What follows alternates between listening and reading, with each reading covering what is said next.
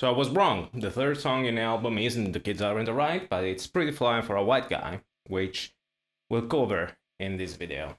So this song is trickier than it sounds, so we'll go through it very slowly in the chorus at least, which is uh, the most which is the most difficult part, and this is probably one of the best uh, riffs in uh, punk rock history, I believe, and we'll quickly see why.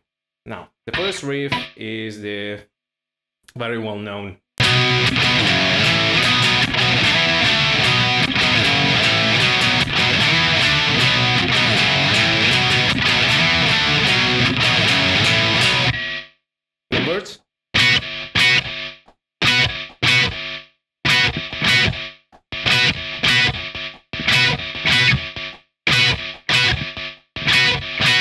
Mix up in denial, so don't debate. And then we have the first chorus. Play it slowly, and it's a very long musical sentence. And it's basically, it basically does all the work musically in, uh, in the chorus.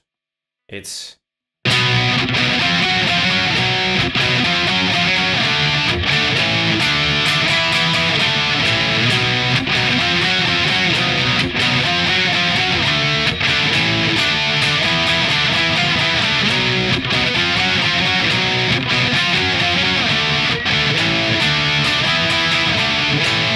Then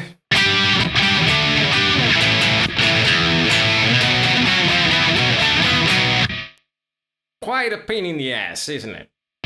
Now let's try to play it at normal speed, which is ironically easier to do because it's a uh,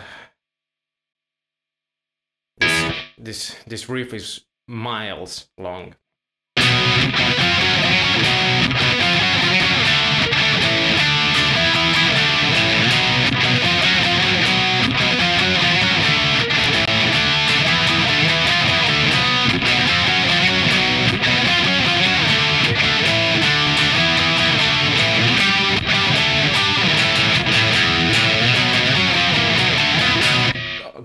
Damn it.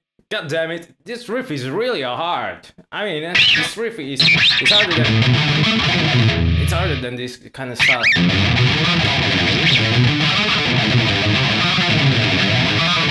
Uh, this is piece of cake uh, when compared to it. Let's do it again.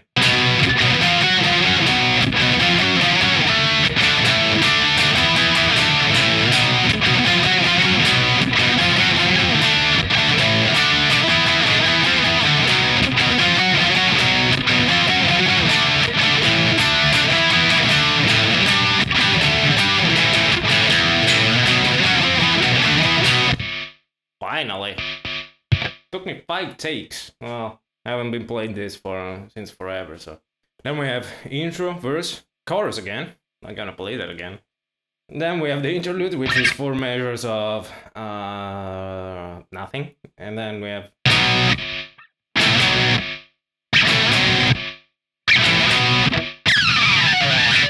We have a variation on the intro. So the first three are And then on the last one we have And then we have the for the last then we have the last chorus. The chorus is uh, exactly like the ones that came before, but then we have the outro, which is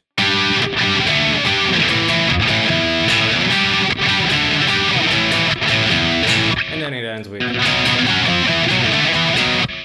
and it ends. And that's all for Pretty Fly for a White Guy. Subscribe to the YouTube channel if you haven't already, it helps a lot. You can request or download uh, Guitar Pro tabs from my Patreon account. As always, thanks for watching again and see you in the next one where we'll cover The Kids Aren't Alright for real this time. See you then.